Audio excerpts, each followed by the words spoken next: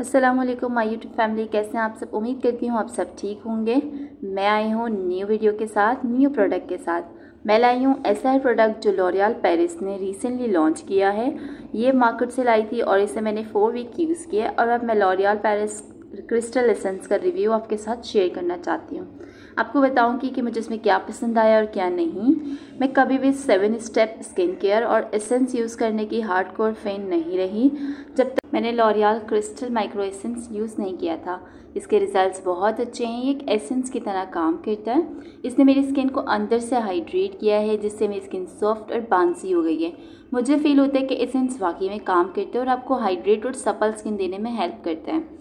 Time के साथ हमारी स्किन का असर ग्लो आहिस्ता आहिस्ता ख़त्म होता है डल और रफ़ हो जाती है ड्राइनेस की वजह से रिंकल्स फाइन लाइंस नज़र आने शुरू हो जाते हैं। पहले स्किन केयर में लोग सिर्फ़ कोल्ड क्रीम यूज़ करते थे, अब स्किन केयर में बहुत सारी चीज़ें आ गई हैं, बहुत सारे रिजीम आ गए हैं सिरम बहुत सारे आ गए हैं, जो आप सब जानते हैं। एसेंस भी आ गए हैं एसेंस साउथ एशियन फॉरनर ज़्यादा यूज़ करते हैं, अभी ज़्यादा लोग यहाँ नहीं जानते। लॉरियल पैलेस ने अपनी एडवांस रिसर्च से न्यू जनरेशन के लिए क्रिस्टल माइक्रो एसेंस लॉन्च किया है। माइक्रोनाइज टेक्नोलॉजी के साथ है। इसमें सबसे अच्छी बात है कि Revitalift crystal essence skin को ग्लो हाइड्रेशन और रेडियंस देने के लिए स्किन के टेन लेयर्स डीप जाता है। बिल्कुल भी ग्रीसी ऑयली नहीं है और ये स्किन में इतना डीप जाता है कि जिससे आपकी स्किन हाइड्रेट हो जाती है नरिश होती है ग्लो हो जाती है। और इक्वली आपके फाइन लाइंस और रिंकल्स पे भी वर्क करती है। स्किन एकदम सॉफ्ट और बेबी हो जाती है। ओवरऑल स्किन को रिपेयर करती है। माइक्रोनाइज ड्रॉप का एक अल्ट्रा लाइट वेट टेक्स्चर है, जो स्किन में इजीली एब्जॉर्ब हो जाता है और स्किन को फ्रेश और नॉन स्टिकी फील करता है। इसके मेन इंग्रेडिएंट में शामिल है सिलिसैलिक एसिड जो डेड सेल्स एक्सफोलिएट करता है। न्यू सेल्स के बनने को अमल को तेज़ तेज़ करने में मदद करता है। जब तक आपके डेड सेल्स एक्सफोलिएट नहीं होंगे, आपके न्यू सेल्स जनरेट नहीं होंगे, आपकी स्किन यंग नहीं दिखेगी, आपके डेड सेल्स की वजह से आपके डार्क स्पॉट्स भी नज़र आएँगे। स्किन को रिपेयर करता है, पोर्स को मिनिमाइज़ करता है।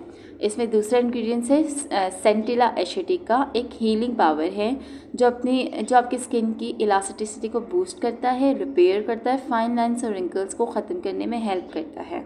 इसकी बॉटल पे कुछ ख़ास नहीं लिखा, बस नेम और यूजेज के अलावा इसकी बॉक्स पे लिखा है और इसके अंदर एक लीफलेट है जिसपे सारी डिटेल्स मेंशन है।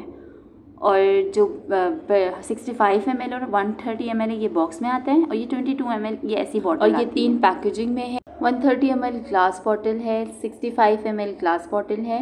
ये फ्लिप फ्लॉप कैप के साथ हैवी ग्लास बॉटल में आते हैं। ट्रांसपेरेंट बॉटल है आपको आइडिया हो जाता है कि आपने कितना यूज़ किया है और कितना रह गया है। इसका कैप सिल्वर है और ये टक करके बंद होता है जिससे आपकी प्रोडक्ट सेफ़ रहती हैं। और ये बहुत कम क्वांटिटी यूज़ होती है। और इसका सबसे छोटा साइज़ है ट्वेंटी टू एम एल जो ट्रैवल फ्रेंडली प्लास्टिक बॉटल में है और मैंने ट्राई के लिए सबसे पहले यही साइज़ लिया था।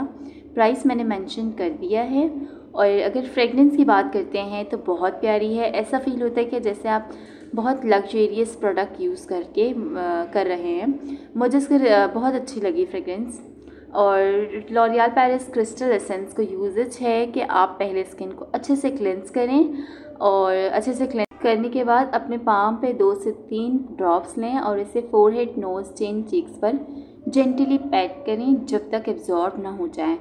जब भी अपनी day cream skin care use करें जब भी night cream skin care routine use करें आप यूज़ कर सकते हैं। बहुत ज़्यादा रफ नहीं करनी आपने। बस पैड करके लगाएँ और कॉटन यूज़ नहीं करें क्योंकि बहुत लाइट वेट है। आ, सब कॉटन पे ही लग जाएगा इसलिए अपने अपने आप हाथों से लगाएँ इसको। और इसकी कंसिस्टेंसी पानी की तरह है। यूजुअली सेंस का टेक्सचर बहुत थिक होता है लेकिन ये एक पानी की तरह हल्का और क्लियर फील कर सकते हैं। आप इसे एक चिप फीलिंग्स नहीं आ रही। अब मैं इसको आ, इसके ऊपर कुछ भी अप्लाई कर सकती हूँ। माई स्किन टाइप है कॉम्बिनेशन टू ऑयली विंटर में भी समटाइम ड्राई हो जाती हैं। पिंपल्स होते हैं मेरी स्किन पे पोर्स ओपन हैं। और ये जब मैंने यूज़ किया था मेरे पोर्स मुझे लग रहा था मिनिमाइज हो जाते हैं। डेली सेवन डेज़ का चैलेंज है, आप डेज़ सेवन डेज़ में यूज़ करें, आपको रिज़ल्ट लगेगा। मैंने डेली यूज़ किया, उसके बाद मुझे फील हुआ था कि मेरे पोर्स टाइट हो रहे हैं और ऑयली स्किन के लिए बेस्ट है सेंसिटिव स्किन भी यूज़ कर सकती है, क्योंकि अल्ट्रा लाइट वेट है सेंसिटिव स्किन के लिए कोई नुकसान नहीं देती। और जब मैंने इसे यूज़ किया था तो मेरी स्किन पे ग्लो आया है पोर मिनिमाइज भी हुए हैं पोर टाइट भी हुए हैं बाउंसी और प्लम्प स्किन हुई है। लेकिन ये आपकी रिंकल्स फाइन लाइन्स पे इतना ज़्यादा वर्क नहीं करती। ड्राई लाइन्स को फर्म नहीं करती। शायद मेरी स्किन रिपेयर थी, इसलिए मुझे फील नहीं हुआ। जिनकी स्किन की कंसर्न होंगे, शायद उन्हें रिज़ल्ट भी नज़र आए। मुझे शायद इतना फील नहीं हुआ।